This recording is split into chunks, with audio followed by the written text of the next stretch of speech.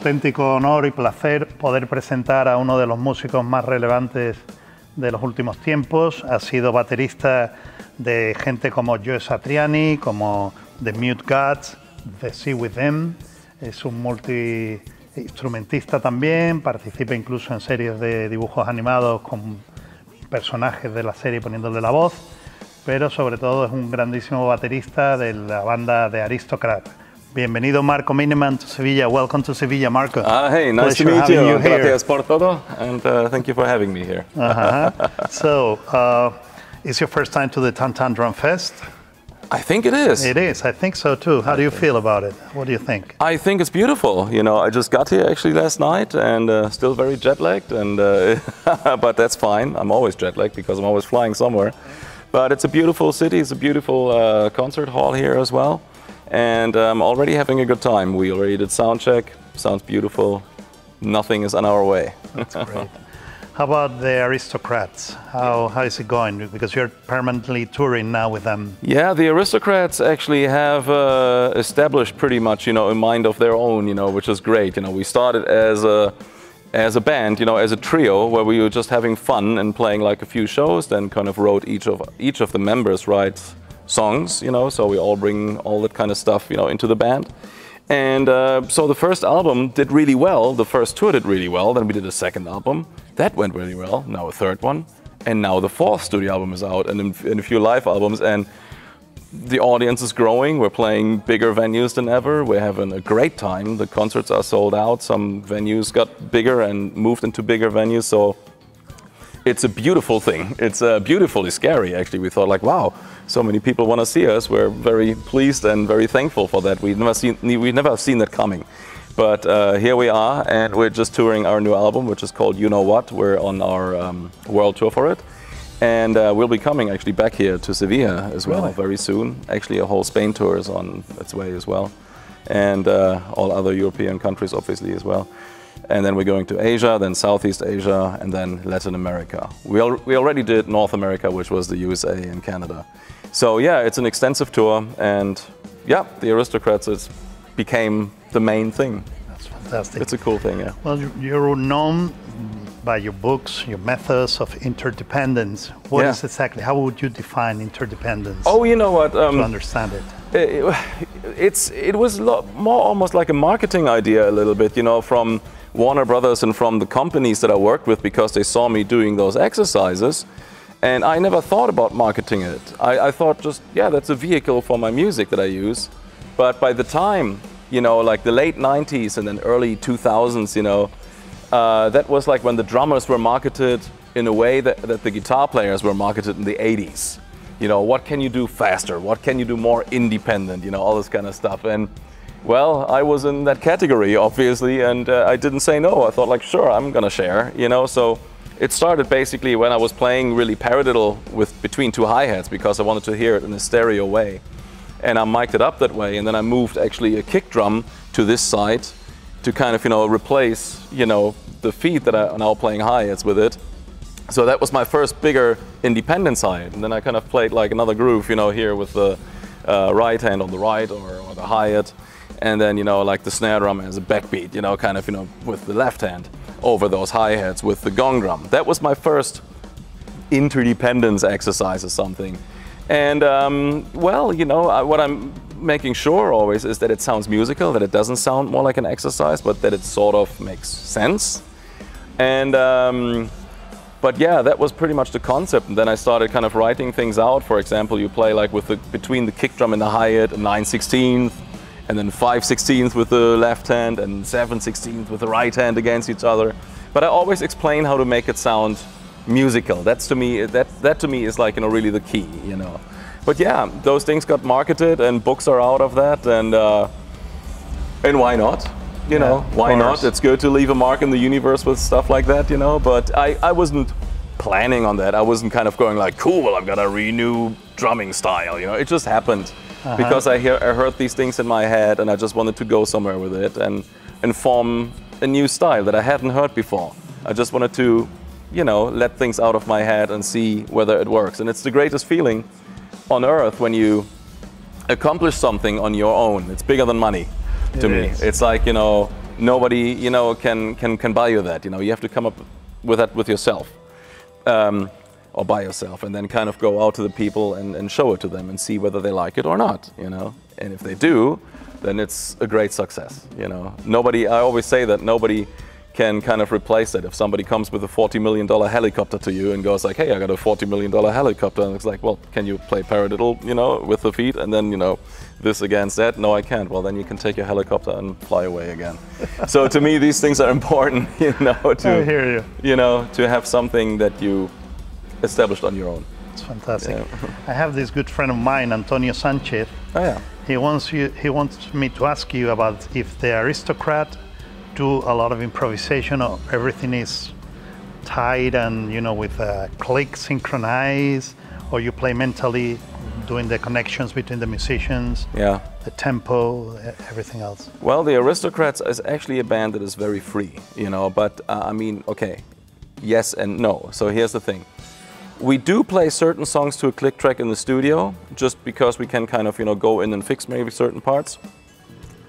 But mostly, you know, we actually like to play without a click, and we kind of like to let the music breathe. There are certain parts in the arrangements that are completely locked, that are very rock solid, and they have to be played in a certain way.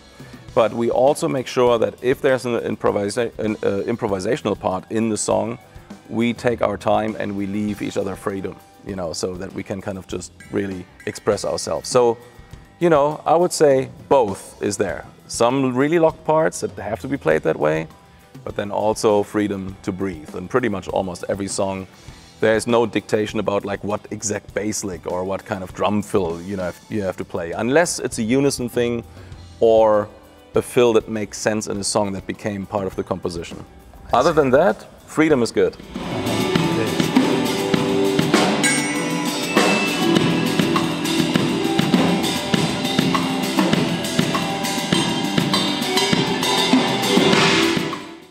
How about you play a lot of instruments? You're known for recording on your own albums, Yeah. mostly everything.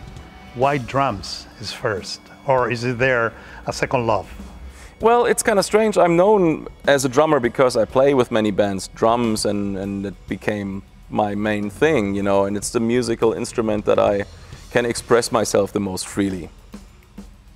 Then it would be probably the guitar, you know, which I play a lot and uh, as well, and um, and then keyboards and then bass, you know. But these instruments I use more in the studio because I can punch in like every here's one minute, here's the next minute, and all this kind of stuff, right? So, but um, to me, it was like always uh, music that was basically the the key to everything. It was like composing, you know, like bringing songs across, you know, and the separate instruments are just a vehicle to kind of combine this together. But that is my love really for it. I never really asked to become a solo drummer or something like that. However, if you have the chance to be invited to a drum fest or you know, then why not doing it, you know? And also like during the Aristocrat show, I will play a drum solo. Why not, you know? So I'll take that chance too, yeah.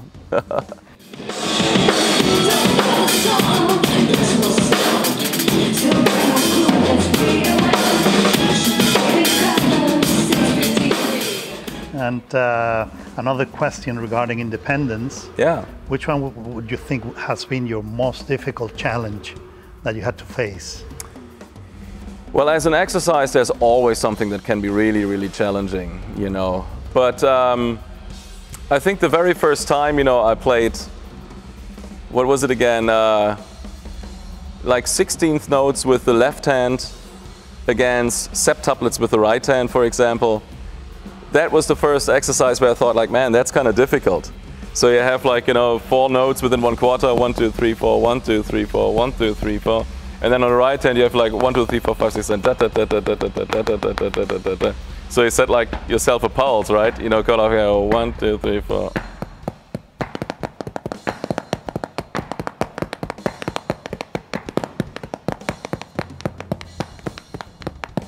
Right? Right? So that one, you know, so I kind of slowed it down so you can see whether things fall in place. You know, those things are kind of pretty difficult. They are, absolutely. Something I want to ask you, I don't know if you like to talk about, how about the, the audition with Dream Theater? I mean, two of you are here now in Sevilla for the Drum Fest. Yeah. TamTam Drum Fest. Um, I have to do it. Yeah. How did it go? What It's- happened there? it's a question that How was experience for you?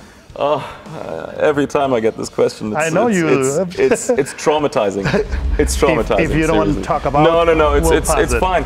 Well, I, the only thing I have to say is like I didn't know so much about the music of Dream Theater. I was never really so familiar with that. But I learned a few songs and I played them, and the audition actually went uh, went great. It was really, really, really fun. And uh, I mean, they were looking for a guy who was like, you know, uh, who was a complete fan and was completely dedicated and would go on the road with them. But I gotta say, the audition went very, very well, and we did talk about possibilities. That is that is for sure. Um, but other than that, I don't really have many things to say. It was so long ago, and also Yeah, it's been a I spent more time talking about it than actually how long the audition was. You know, but but it's but it's okay. It's fine. You know? Everybody told me to ask you. yeah, the funny thing is, I don't have anything else to say. Everybody hear you. already read what's going on. but it's fine. It's all I cool. And Jordan uh, and I are dear friends. We we still uh, work together on albums. I just played on his new album. We did a few albums together called LMR, together with Tony Levin. Mm-hmm. And um, yeah, it is all very very cool. And John Petrucci and I, you know, are always planning to do something together as well. You never know, you know. Yeah, it's a it's definitely a beneficial thing that came out of it. what are you going to be presenting tomorrow at the TamTam Drum Fest? What are you playing? You're coming with uh, your brands, DW. That's very. That is very true. I'll play actually DW drums and Zildjian cymbals, Evans drumhead, Promark sticks, and um, I will be bringing also my new CD, which is called My Sister. Strange title, I know. It's a double CD. I will be playing some songs from that one, and uh, I will also play a lengthy drum solo. And uh, yeah, so come out, come out and pick it up and uh, and see you know if you like it. Hopefully you do. I'm already having a good time. I did the sound check and it sounds brilliant. I'm feeling pretty secure. Yeah.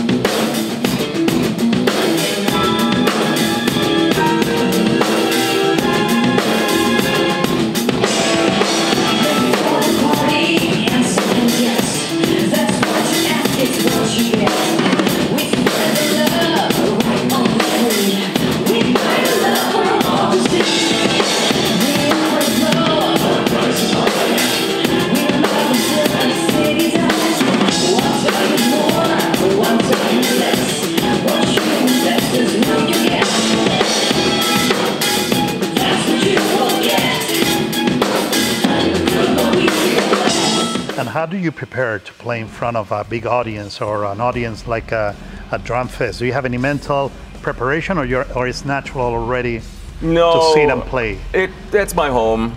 it's my home, you know. you That's what I do since I was like a teenager pretty much, you know, playing in front of people. I think you have to, you know, I can only give this I mean the thing is like yes, the more experience the you have, the calmer you get about these things. Mm-hmm. Because meanwhile, you know, you're at a stage where you don't have to prove anything anymore. But I remember like, you know, being in my late teens or like, you know, early 20s when you have to prove something to the people that you're there. Mm-hmm. That can be nerve-wracking, you know, because you want to be as good as possible, you want to blow everyone away, even though deep inside you know that the most important thing is just to play music and concentrate on the groove and the sound and then put out the fireworks at the right moment. But when you're really young and you're hungry and stuff like that, you kind of go for everything. Mm-hmm. And I was looking already way back then so much forward to kind of play wisely and put like, you know, everything in the right place. And I guess, you know, meanwhile, playing those drum festivals and with a bit of experience, it is coming to that point where people are expecting music. The times, you know, are there that people love to hear, you know, just good sounds and just, you know, enjoy, you know, these things. And um, I'm having a pretty much, I think, a variety that hopefully pleases people. So I'm playing actually some of the complex stuff from my new album, but also some groovy stuff.